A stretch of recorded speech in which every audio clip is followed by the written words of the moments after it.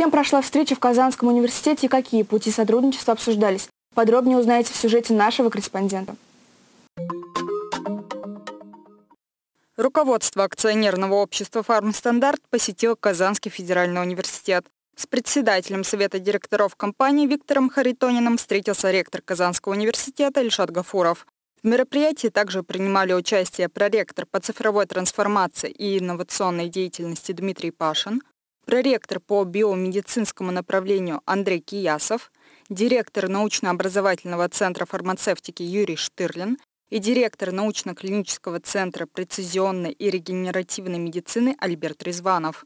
В ходе встречи обсудили перспективные направления сотрудничества между компанией и Казанским федеральным университетом.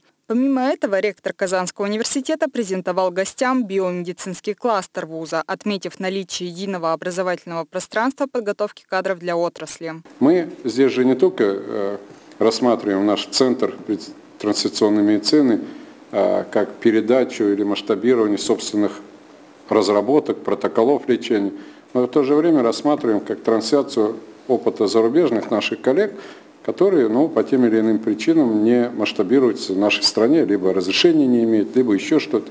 А здесь вот э, там увидите небольшие операционные, то есть вот в этом центре все это можно делать, приехав из-за пределов страны. В завершении встречи представителям компании были продемонстрированы лаборатория научно-образовательного центра фармацевтики Казанского университета и возможности научно-клинического центра прецизионной и регенеративной медицины. Кристина Надыршина, Фарид Захитаглы, Univer News.